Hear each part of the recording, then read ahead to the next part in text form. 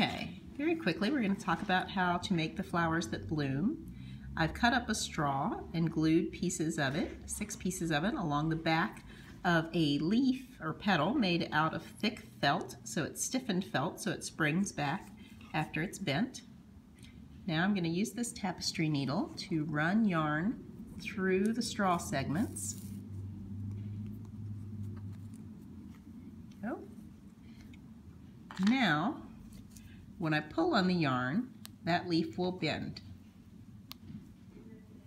So that's what's happening in this flower here, only the yarn for all the petals is attached down to this servo, so that when the servo turns, it pulls on the yarn and the flower blooms.